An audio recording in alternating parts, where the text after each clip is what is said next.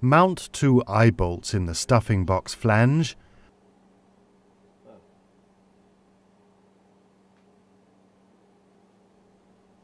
and hook on two tackles.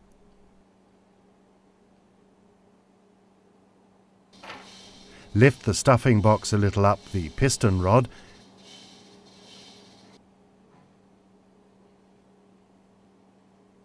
and remove the distance pieces from the piston rod foot.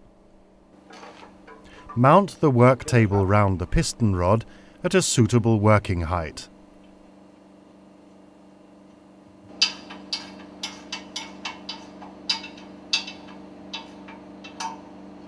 Remove the tackles.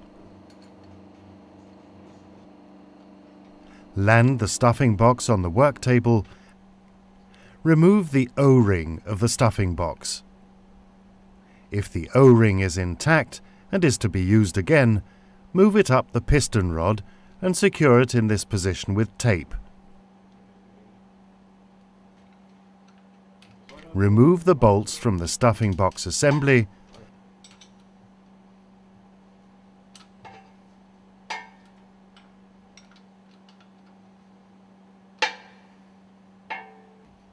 pull away the one half of the stuffing box and remove it. Using a feeler gauge, measure the vertical clearance of the rings. See the instruction book datasheet 102.2. Remove the remaining half of the stuffing box and press all sealing rings and scraper rings down against the work table. Measure the clearance between the ring segments to determine whether a replacement is necessary. See datasheet 102.2. Dismantle and stack the rings in the same order as when fitted in the stuffing box.